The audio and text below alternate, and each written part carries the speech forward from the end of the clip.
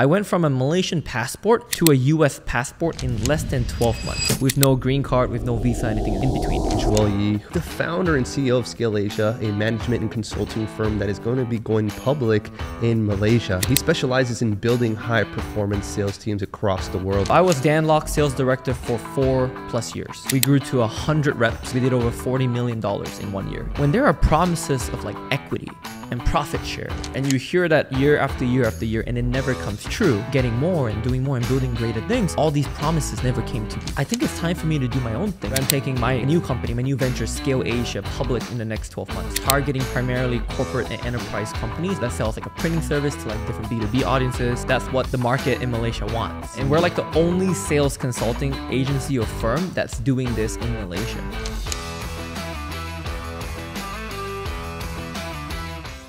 Ladies and gentlemen, welcome back to another episode of Legacy and Billions. And today I have the honor and privilege to be able to introduce to you my man, Joel Yi, who is the founder and CEO of Scale Asia, a management and consulting firm that is going to be going public in Malaysia. And he specializes in building high performance sales teams across the world. So I'm excited to dive in and really obtain some tactical strategies that we can use and implement to take our business to the next level. So, Joel, welcome to the show, my man. Thanks for having me, Christian. Absolutely. Uh, I love it. Miami's great, by the way. Yes, sir, Yeah. man. Can't complain. The Sunshine State. Yes, sir. Good to have you here, brother. So, why don't you walk me through, man, um, a little bit of your background and your story? Where are you from? Yeah. And how did this journey all get started for you? Yeah, okay. So I'll tell you about a bit of a personal story and then a, how it ties into business. So Yeah. I was born and raised in Malaysia in a very small town called Kuching. And when I was younger, I was actually a state sprinter. So it's very competitive. I was running. Uh, my top time for a 100 meter dash was like 10.92 seconds. So I was pretty fast uh, for, uh, uh, under, under 15. So uh, when I was younger, you know, I was thinking like, do I become an athlete? But then I realized for my country, Malaysia, honestly, there wasn't much of a, a future in that sense, right? We're not a top nation in terms of athletics, right? So I was very blessed and very fortunate um, by the grace of God. My parents had enough funds at that time to look for opportunities outside the country. So I started looking into schools in the US. And I found a college in Seattle, Washington, a community college actually. So I went to the community college, and I was an international student. So I'm Malaysian, and then in 20 in 20 so i did my school i did my college right and then in 2015 i found out through a google search that the us military was looking for foreigners that could speak foreign languages and in exchange we would become us citizens hmm. so this is sort of the the, the clim- it's getting to the climax here where like i basically enlisted in the us army I learned, I spoke Indonesian, I still speak Indonesian, and I became a US citizen. Hmm. So then, this is a crazy story though. I went from a Malaysian passport to a US passport in less than 12 months with no green card, with no visa, anything in between. Now, this program by the government has now been shut down. So I'm like one of 5,000 people that managed to go through it. So I'm very, very blessed again, very thankful to God for that. Um, and that gave me basically new opportunities and a new, a new hope in life. And I was a commissioned officer, so I did ROTC, or ROTC, through my university in Tacoma, Washington, became a commissioned officer. And then this kind of transitions into the business journey. Back at the time, I was date my girlfriend, who's now my wife. Um, she was in army training for five weeks, and you know I was lonely in this new city called Carbondale, Illinois, because I moved from Washington uh, to Illinois to be with her. And I was like doom scrolling, right? Doom scrolling on Facebook one day, and I kept seeing this guy in a red suit, this Asian dude, and he, he, he kept talking about you can make six figures online, make money online. And for like two weeks, I thought he was a scam. And then one night, I was so lonely, so bored. I clicked on his ad, I watched his webinar. 90 minutes later, I took out a credit card with money I didn't have and I bought his course. His name was Dan Lok, and it was the high ticket closer program. So I learned how to close high ticket sales online, and that's what I did um, basically to make my first six figures. I made my first six figures doing online sales, closing coaching programs, info products, selling mastermind events, and then I think Dan saw the leadership he had in I had in me, and he promoted me slowly to like assistant sales manager, sales manager, and then I became sales director. Within his organization. Yeah. So I was Dan Lok sales director for four plus years. And I built a sales team from just 10 guys at a time, myself included. We grew to 100 reps And, and the best year we did, we did over $40 million in one year in sales coaching. It's incredible. And yeah, so since then, now this is like the fast forward.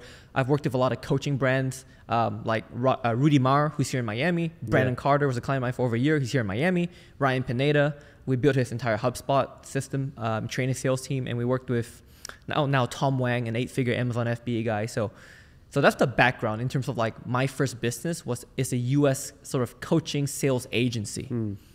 And I can talk about the Malaysia part now. If I know, I'm actually for curious. I have bit. a couple yeah. questions, man. But Sure, thanks go for for it, go sharing that because I know that you've been doing this for a very long time. Sure. And so, what was it like to transition from working with somebody like Dan Lok to now starting your own business? Yeah. What did you see that was like, you know what, it's time for me to get in my own business? Yeah, I love that question. Um, and since you're a man of faith, I, I love that I can speak about this because Yeah. when I was with when I was in Dan's organization, and, and this is like I'll take you back a little bit. When I came to the U.S., I was 16, and I think at, as a young man at 16, with a lot of freedom, you could pretty much do whatever you want, right? I have a lot. I had a lot of friends that experimented with drugs and you know partying and alcohol and you know all the all the basically everything you think of. And for whatever reason, I always never had an interest in those things. I always felt like the hand of God was upon me. And even though back then I would say my relationship with Jesus wasn't really like deep, it was more like my parents' God and my parents' Jesus, right? But for me at the time at 16, I was just like doing my own thing. But I always felt like he had his hand on on me and guiding my path because when I was working for Dan, I kept till this day feeling the same thing of like, Joel, you have to be surrounded with more faith-filled people. You have to work with people that are more faithful. I and until this day I feel the same like cuz at Dan's company, no one was Christian. So that's part of the reason why I actually left because not only was it to do my own thing, but I just felt like I had to be in an environment where I could grow my personal faith, but then also eventually help, you know, inspire people and show show people the love of God. So that was the biggest reason. The second reason was when you when I worked for Dan for 4 years, and I think this is a problem, not really, not really a problem because I'm always grateful for grateful to Dan. He's my first mentor, my first boss. He gave me all these opportunities. I wouldn't be even sitting here without him. But in terms of a leadership perspective, because I'm really big on this, you know, when there are promises of like equity and profit share, and you hear that year after year after year, and it never comes true, then your team starts wondering, is this whole thing really legit? Is it worth it? I think that happened to me where I was in the executive team for like four years, and there was always talks of like getting more and doing more and building greater things, but they just never came to fruition. So eventually, at 26 years old, I was like, okay, I spent four and four or five years in this organization. I've built Dan's brand, helped him build it. It was great. I think it's time for me to do my own thing, just because all these promises never came to be. Mm. So those were the two main reasons why mm. why I left and did my own thing. And so, starting your own thing, how was that experience of you starting your company from scratch and then Yeah. you know growing, scaling, recruiting? Yeah, that's just such a such a funny, but also it reminds me of like of all the lessons and the hardship because Yeah. we went I went through so much. Um, initially, like when I first left Dan's company, you know, I kind of did it I would say the smart way because when I left, I already had another like business partner lined up where we were already making good revenue, good profit. And basically, what the business I did initially was like an offer publishing business. So we would take like a coach who was good on YouTube, for example, a great YouTuber, and we would help him sell high ticket coaching services. So we would do like the marketing, the sales, the operations, everything. And slowly, and we made good money for that, that year after I left Dan. But the problem is, I realized I didn't want to do all that. I just wanted to focus on the sales team, right? Um, but that transition was tough because in that one and a half years of me quitting Dan's, one year of me quitting Dan's company, I tried to launch my own offers. And I did a few offers and I made a big, and I take ownership for this because there was a, there's an offer where I launched and it was helping companies revive their list of dead leads. We call it sales farming.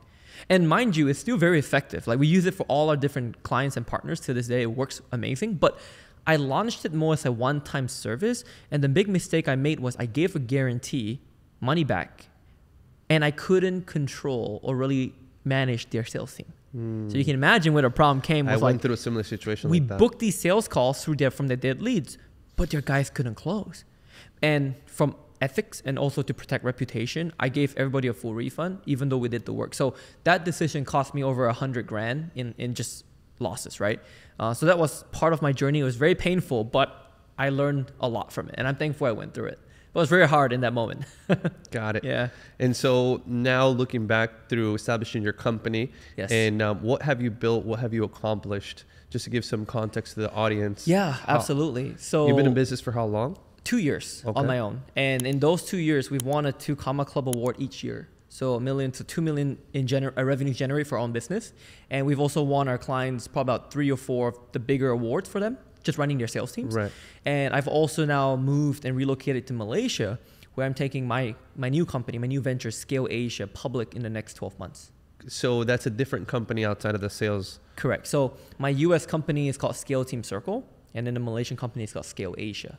But they do similar functions, Got it. Just Yeah. in different markets. different markets. And in Scale Asia, we're targeting primarily corporate and enterprise companies, not really not coaching and online businesses. Mm, so it's running the same strategies for sales and running high performance teams, but in the corporate setting in person. Absolutely, yes. So we've Oh, got understood. a client like that sells like a printing service to like different B two B audiences. So, and that's the reason why we can go public because that's what the market in Malaysia wants, right? And we're like the only sales consulting agency or firm that's doing this in Malaysia. Got it. And so let's talk about some of the practical, high performing sales strategies that you can share with the audience. What are some Yes. um, principles if and a business owner is looking to build a high performing sales teams? Hundred percent. What would you recommend? Yeah, that's a saying. You know, um, you hire for attitude and you train for skill, and I think it applies to a lot of businesses and sports. Uh, but I also think similar to professional sports. Here's how I look at sales. I don't know if you played any professional sports or the military, uh, but I look at it at the exact same way where like it's a profession. I feel like a lot of sales teams are not good, are mediocre because everybody, including the business owner, treats the team like they're just a bunch of sales reps.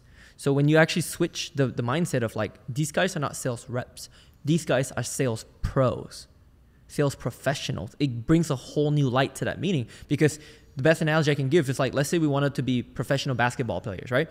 There's the difference between playing every Sunday amateur basketball versus playing professionally because you could be a good Sunday league baseball uh, ba- basketball player, but the practice, the training, the talent that's needed to become pro is completely different. So for one of one of the first things that we do when we take over a company and we optimize their sales team is we instill this mindset of professionalism in the team itself. And if people don't want to get with it, they're out. out. Yeah. So the ones that stay, and this is where it gets great because A players like A players. A players don't want to play with B and C players. So we, we find this great divide between the reps that want to be A players and the reps that don't. And, and most of the times, most sales professionals want to be A players. Yeah. They just never had the leadership, the coaching, or the environment to thrive. So we come in and create that environment for them. So that's the mm. first, the first most important thing.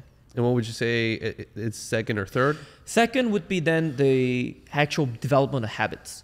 Because now you can say, look, we want to be a pro team, we want to be like Navy SEALs, right? But how do we get there? Yeah. So next we instill habits. Hmm. So habits, and this is crazy because like if I was a pro basketball player, I wouldn't just roll out of bed, drive myself to the stadium and go compete in a match. Hmm. No. Wake up, meditation, routines, physical workouts, rehearsals, right? Maybe we're gonna watch game tape and our coach is gonna drill us, then we're gonna have a pep talk. Most sales guys don't do that. They literally get out of bed and get on the phone and start closing, or they get out of bed, get in a car, and go make sales. It's like it's crazy. So we instill habits like morning routine. So we have a very thorough morning routine that every rep goes through to get ready for their day. Things like that. That's amazing, man. And so you implement that also for the companies and you tell them, hey, this is how your morning should operate in order for you to increase your performance and maximize your effectiveness on your day to day. Hundred percent. Got it. And uh, number three, what would So you yeah, say? so we went from the environment, right? Yeah. The culture now to the habits. The third thing is now all the training that we do. So my team of managers and myself, we have experience in high ticket sales because we've done the closing and the setting. Uh, so then we have our own framework of training that we basically train the reps. So we do one-on-ones with each rep every single week. On the one-on-ones, we talk about not always training and call reviews, but we talk about personal stuff too. Because what what I found, what makes a good sales professional and a great sales professional is that the great sales professional has their personal life really dialed in. Mm. Like they're mature, they got faith, you know, they deal with hard, you know, emotionally emotionally very well. A good sales professional gets swayed by their emotions. by their family, by their wife, by their spouse, right? By their kids.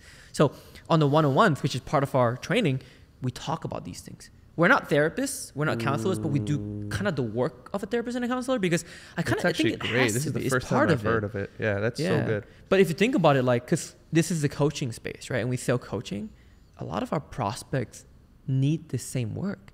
So I tell my guys all the time, I'm like, how can you expect someone to invest in a $25,000 mastermind if, like, you yourself haven't done the work internally?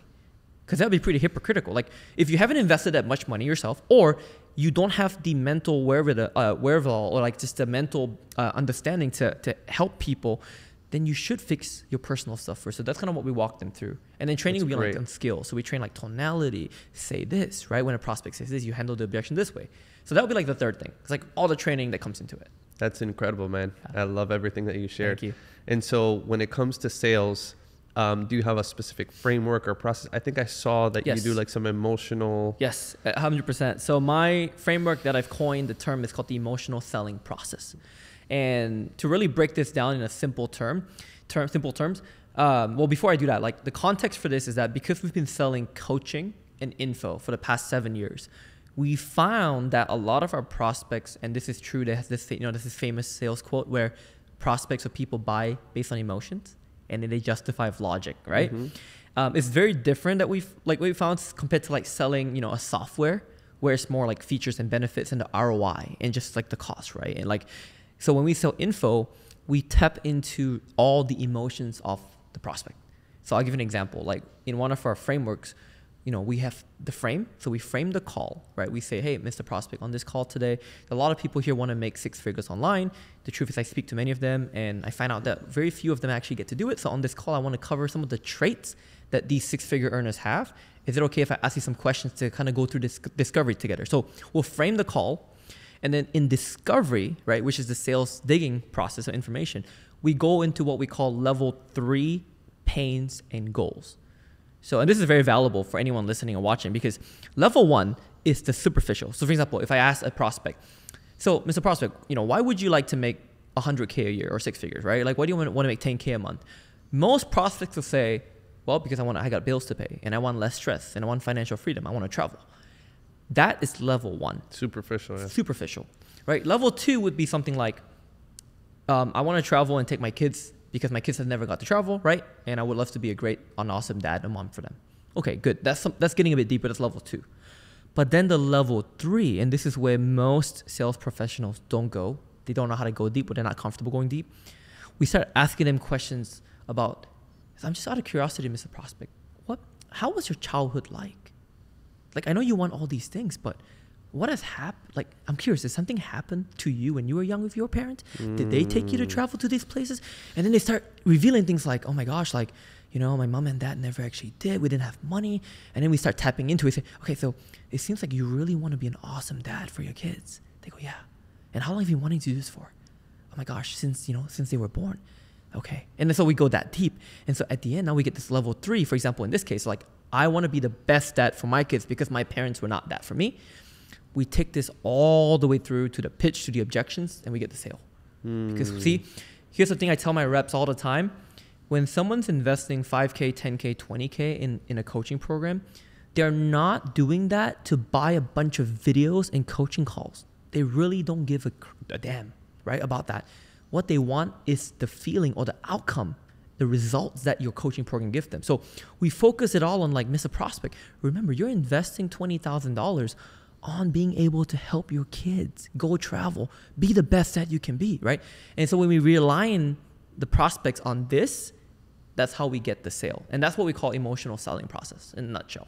That is fantastic, man. I can see you got this dialed into Yeah, the. so that's T. what we've been teaching for seven years. Yeah. Excellent, man. And so, do you want to talk a little bit about the project in Malaysia that you got going on? Yeah, absolutely. So, um, and I think this goes into a lot about mentorship, right? Why I think people should invest in mentorship because even for for me myself personally, the first product I invested in was Dan's high ticket closer program, right? Twenty five hundred bucks. But since then, I've invested ten 10x, no, 100x, right? 10, yeah. I've invested over $250,000 into coaching, mastermind, networking events. For example, I was in Russell Brunson's Inner Circle. Um, I was in Rudy Mawer's Inner Circle. Um, Jeremy Haynes, who's down in Miami, is Inner Circle. So I do a lot of this networking and mastermind because I realize I have so much more to learn. And this ties into the Malaysia project because through these masterminds that I've been to, I met this business partner in Malaysia who was in Russell's Inner Circle. So because I invested in Russell's Inner Circle and we went to this really cool place in Mexico last year, I met this other guy from Malaysia. I'm like, oh my gosh, there's another Malaysian guy here because we don't really meet a lot of Malaysian Yeah. people in the coach in this in this online info space, Yeah. right? And it turns out he isn't an info guy. So I was like, why are you here in Russell's thing? It's like, oh, I run a private equity firm and I just travel to all these events to learn. I'm like, that's incredible. So he literally goes to all these different events and masterminds on in all different niches just to learn.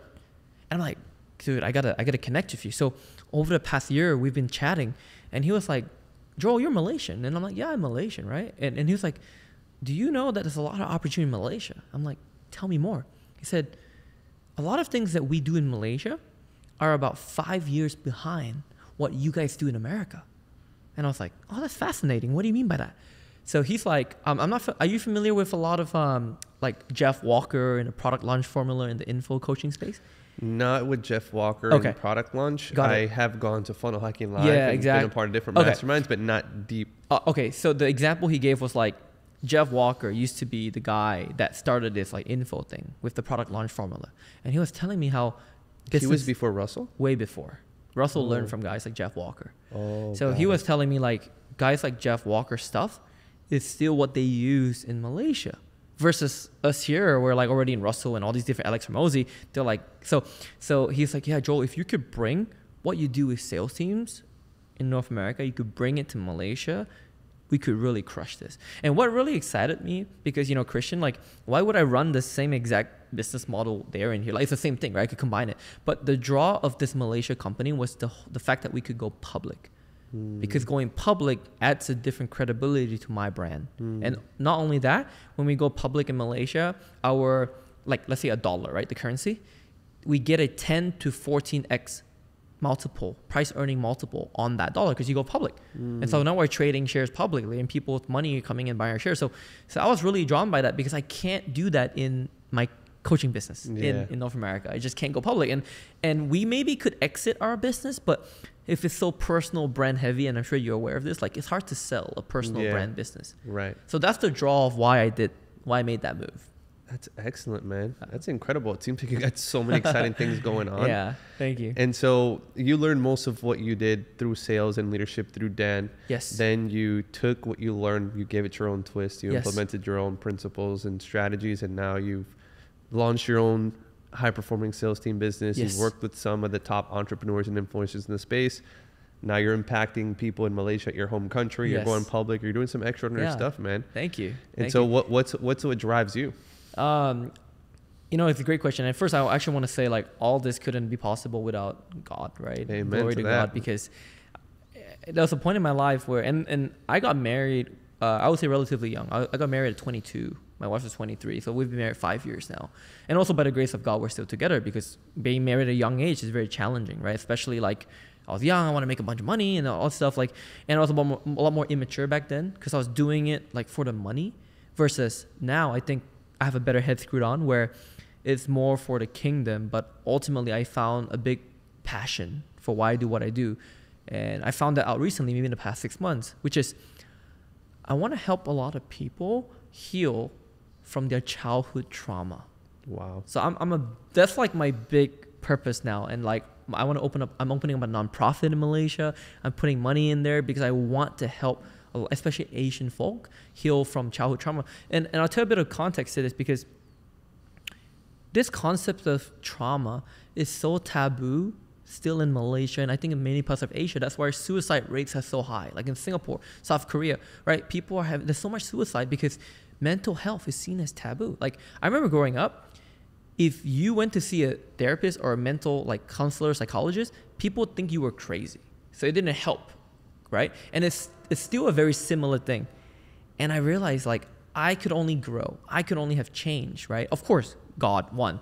But ultimately I had to also heal from the trauma and the things of what I what I went through in life. So Mm. um, I think that's the big thing that drives me for Man, that's- what I do right that- now. that- That's beautiful, man. And so, what was that process for you, overcoming those traumas? Did you use self development? Did you see a Yes. psychologist, a saw counselor? Like, what were some Yeah. of the modalities that you used? Okay, so I, I think to be very frank, um, I've not been to like psychiatrists. You know, we, we, we do like um, marriage counseling classes and stuff like that. You know, part of the church. Yeah. But ultimately, most of my personal development journey has been through my personal relation, relationship with Jesus and God, which has Amen. been So, great. through the scripture. Yeah, through the scripture. But also, I have done um, courses like that's a very famous um, experiential program, which is for personal development called Money and You. It's typically in San Diego every quarter ish, and Tony Robbins went through it 21 years old. Uh, Robert Mm. Kiyosaki was a business. He was an instructor and a business partner in a business. So a lot of these great legends like T. Harv Eker, they all went through Money and You, and I did that. That makes a lot of I did that last uh, November, or yeah, last November. So I think that was like the main, the only one that I really went through. But throughout the whole past couple years, through scripture, through praying, through just you know church leaders, I've been able to heal. It's fantastic, man. That's beautiful. Thank and I'm curious that that mastermind or that event Mhm. is, is there a book or it's just online? There's, I mean, al- or- there's or also a mastermind. book called the Mon- it's called a Money and You book, Mm, but then the live, the experiential event is three and a half days. got it. Yeah, Got it. That's incredible, man. thank you. Wow, you just have incredible energy, man. I'm, I'm kind of speechless with your story and all the great things that you've been able to Appreciate it. accomplish. How old are you now? I'm 28 this year. 28. Yeah, Yeah, born man, such a young age. Yeah, Yeah, that's thank that's you. freaking awesome. Thank and so what's what's next for you? What's uh Yeah. what, what's your next move aside from going public? Yeah. I know you got a lot of things going on, but Yes. what's ultimately the legacy? You know what? And that's I think the thing. We talk about many different things, but I think really the biggest thing for me in this season of life has been like focusing right on that one thing. Because even with these com- this company Scale Asia in Malaysia and my my US company Scale Team Circle, we've been trying to mesh them both so that way I'm way more focused on one thing instead of two things. So we're in the season right now where like we're consolidating our resources, we're moving our team members here, here. So it's gonna be fine because it's still the same trajectory. It's just like I want to keep everything focused, mm. right? Because I think without focus, it's very hard to grow bigger businesses. And then uh, my legacy is yeah that nonprofit, that foundation where you know we can actually pour in money and do sponsorship. Because for example, the Money and You event in Mal- that's actually it actually runs in Malaysia too. So this Money and You event It's a big franchise and it runs in China, Malaysia, the U.S., uh, Japan, um, and the fees in Malaysia are not that cheap, right? It's about five thousand US, which is a lot of money in Malaysia. I would like to be able to sponsor, you know, young adults and teenagers to go. Um, so that's kind of like what I want to do next. So it's really about because I, I realized one thing, right? At a, I, I would say I realized this thankfully at this age is like the more I focus on the kingdom, on God, and also focus on helping people, like truly helping people, not like make money off them, right? Yeah. The more opportunities just come from left field, from God, from I don't even have to focus on making money per se. Yeah. I just focus on doing the right, like what I feel is the right things, and so that w- I would say that's like my big focus now, the big like the big legacy. That's Yeah. amazing, man. And so, who aside from Dan Lok, who were some mentors, that you had that really poured into you? Yeah. Um, so after Dan, so Dan, I invested about thirty thousand dollars total with Dan. I invested about over uh, fifty thousand dollars with Rudy Mawer here in Miami. He Yeah. was in Tampa before. Invested about twenty five thousand with Jeremy Haynes, who's south of Miami, and Russell Brunson fifty k plus, and then Ryan Pineda was about thirty k per, per se. And then that would I would say those in the coaching space would be the main like five four or five guys. And so, many are you looking to recruit or hire new sales pros for your companies? Always. Always. We are always looking for talent. Got it. So yeah, if someone's like watching this or listening, yeah, that's and why you I was like asking. you like what we're saying, please apply. Please reach out to me and just DM me. We're always recruiting. Yeah. Beautiful. Wonderful. And is there anything else that you might want to share that maybe we haven't touched base on that No. would be valuable for the audience? I think you've asked amazing questions today. Thank you, Christian. Um, and now I just say like let's keep growing. Let's keep crushing Amen. it. Let's Yeah. do it, my man. Amen. Well, where can people follow you, look up Yeah. your information, and, and get in contact with Yeah. you? So the main my main website is joeyi.com. But if you want to apply for any sales teams, ask me any questions, feel free to DM me at official joeyi on Instagram. Guys, you heard it from the man himself. He's been building high performing sales teams and doing extraordinary work and building all for the kingdom, which is a beautiful thing, man. God bless you. Thank you for coming on here, and we'll catch you guys on the next one.